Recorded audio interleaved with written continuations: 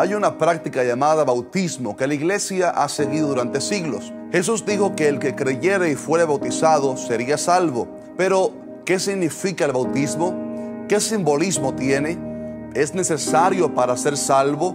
¿Se puede hacer solo con un poco de agua rociada sobre la cabeza? Hoy veremos a la luz de la palabra la verdad aquí en qué dice la Biblia. Bienvenido.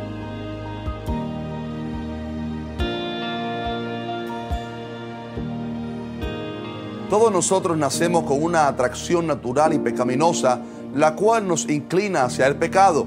Por esto cuando conocemos a Cristo sucede el milagro del nuevo nacimiento, muriendo así nosotros a nuestra carne pecaminosa para que viva Cristo en nosotros y sea Él quien reine. Así que ya no debemos usar nuestros miembros físicos para el pecado, pues hemos muerto a Él.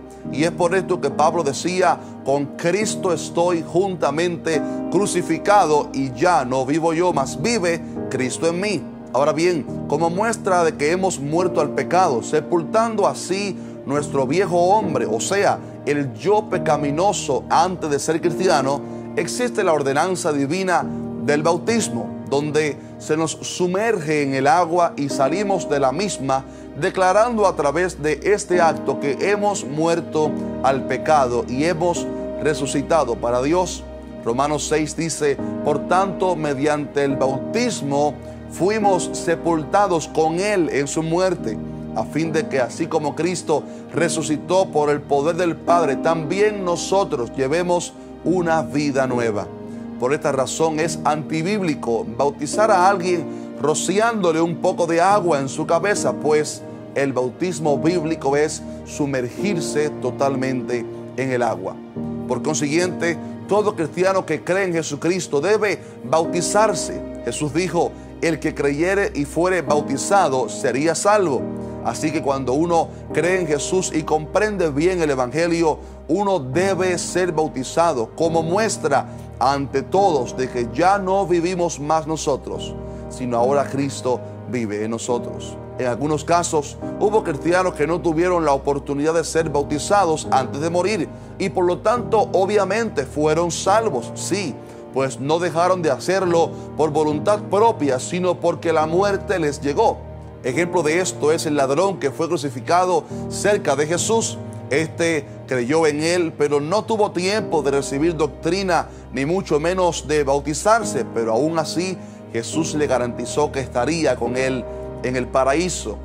Bautizarse es un mandato bíblico y no hacerlo por voluntad propia es una desobediencia que nos separa de Dios y por lo tanto no dar este paso de fe es alejarnos más bien de la perfecta voluntad del Señor para nuestras vidas. En consecuencia, todo creyente que lleve años de convertido y aún así no quiere bautizarse por propia voluntad, este está caminando en contra del mandato bíblico y no tiene compromiso para con Dios. Para obedecer este hermoso mandato solo debemos cumplir un requisito básico, haber creído en Jesús como Salvador, de lo cual se deriva una comprensión clara del Evangelio.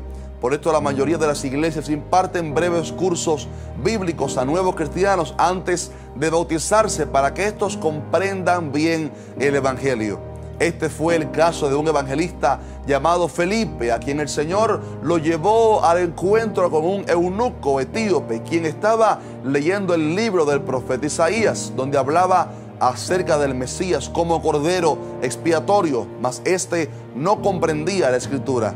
Dicho evento fue aprovechado por Felipe para predicarle el mensaje de Cristo y enseñarle bien la doctrina principal del Evangelio, que solo hay un camino para ir al cielo, Jesucristo. Apenas este hombre comprendió bien el mensaje, estaban pasando cerca de un lugar con agua y el etíope le dijo a Felipe, aquí hay agua, ¿qué impide que yo sea bautizado?